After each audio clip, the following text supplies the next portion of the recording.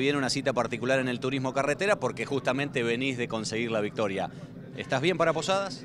Creeríamos que sí, obviamente sabemos que, que vamos a tener 20 kilos y que el objetivo ahora es sumar, tratar de ser eh, regulares para, para pelear el campeonato.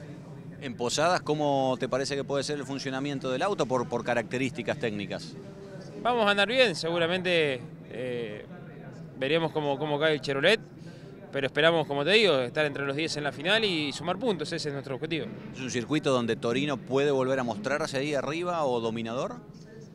Torino puede mostrarse arriba en cualquier circuito, es claramente la, la marca que, que, mejor anda esta temporada, pero no por eso significa que vaya a ganar. Eh, creo que está todo muy parejo y, y cualquiera puede ser el ganador en Posada. Gracias, Agus. Buen fin de. Dale, muchas gracias.